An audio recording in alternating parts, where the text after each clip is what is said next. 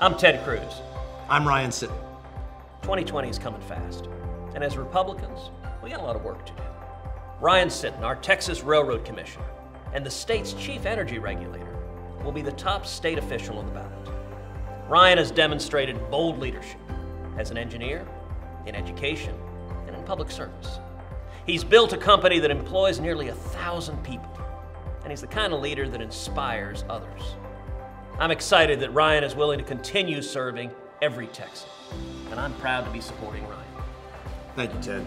Your support really matters, and I'm very grateful to have it.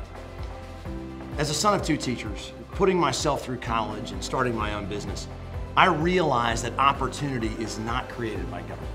It is created by people.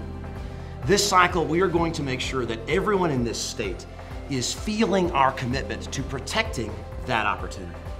We're going to be focusing on things that all Texans agree on, that bring us together, ideas that expand opportunity, that protect our freedoms, and that ensure that every Texan gets to determine your own path in life.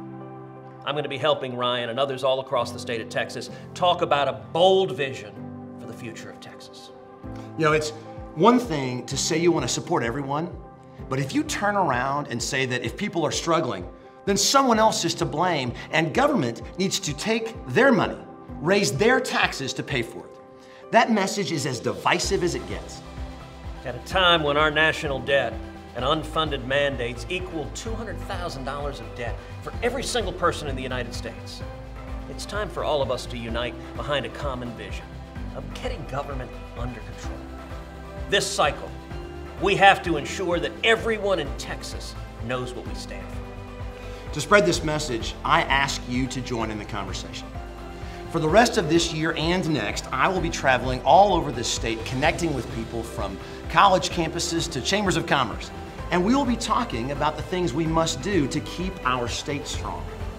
So I urge you to support Ryan Sitton in his reelection just like he supported me in mine.